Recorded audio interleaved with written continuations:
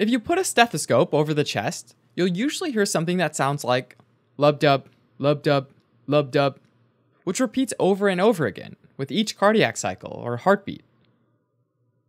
Now, the question is where does this sound come from?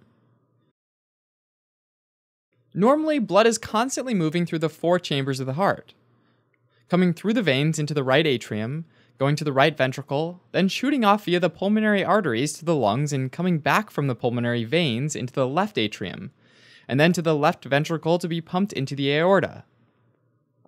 So, in every step, some valves have to open and some have to close.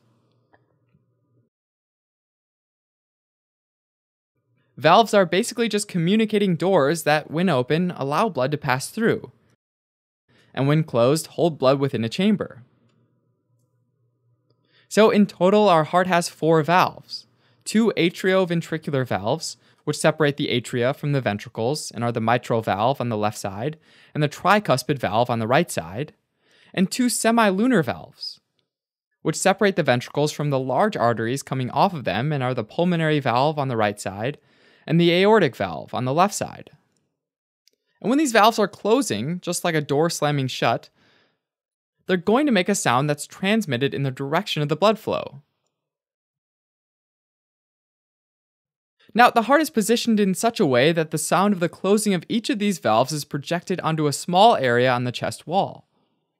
If you put a stethoscope between the second and third rib, known as the right second intercostal space, just next to the upper border of the sternum, you'll hear the aortic valve closing. Then, if you place a stethoscope in the left second intercostal space, at the left upper sternal border, you can hear the pulmonary valve closing. Making our way down between the fourth and fifth rib, next to the left lower border of the sternum, is where you can best hear the tricuspid valve closing. Finally, let's move down to between the fifth and sixth rib, so in the left fifth intercostal space, near the midclavicular line. The midclavicular line is the imaginary line that gets drawn from the midpoint of the left clavicle, or the collarbone, straight down, so you can find where it intersects with the fifth intercostal space. That's where the mitral valve closing is best heard. Now, in reality, a lot of these things are happening at once, like a factory with lots of things happening in parallel. For example, the right and left atria are both full of blood, and that blood moves through the tricuspid and the mitral valve to get down into the ventricles. Initially, the blood flows passively into the ventricles, but near the end, when there's just a bit left, there's an atrial contraction that gives the blood an extra hard push to help get it out. This part of the heartbeat, when blood is filling the relaxed ventricles, is called diastole. Now, once the ventricles have filled up, both of the atrioventricular valves snap shut creating a long, loud sound that sounds a bit like lub. And that's the first heart sound, or S1. And because it's basically the tricuspid and mitral valve closing, it's best heard in the tricuspid valve and mitral valve areas. So at this point, the ventricles are full of a whole lot of blood and are ready to squeeze it out. And to do that, the aortic valve on the left side and the pulmonic valve on the right side quietly open up. Blood flows from the left ventricle into the aorta and from the right ventricle into the pulmonary arteries.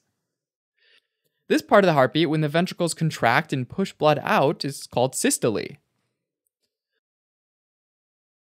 Eventually, the ventricles finish squeezing, so these two valves close down, making a short, sharp sound that sounds a bit like a dub and this dub is called the second heart sound, or S2. This is heard loudest in the aortic valve and pulmonary valve areas. During inspiration, though, if you listen carefully with a stethoscope, this S2 sound actually splits into two separate sounds. That's because the diaphragm muscles lower during inspiration, and that creates negative pressure in the chest to bring in air.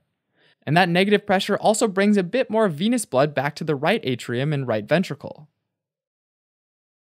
It takes a little bit longer for the right ventricle to squeeze the extra blood into the pulmonary arteries, and it takes a little bit longer for the pulmonary valve to close. So during inspiration, the closing of the pulmonary valve is heard slightly later than the aortic valve, and that's called the physiologic splitting of the S2. Now, after both the aortic and pulmonary valves have shut down, the atrioventricular valves open up again, letting the cycle start all over. All right, as a quick recap heart sounds are generated as blood flows through the beating heart. There are two normal heart sounds S1, caused by the atrioventricular valves closing at the beginning of systole, and S2, caused by the aortic and pulmonary valves closing at the beginning of diastole.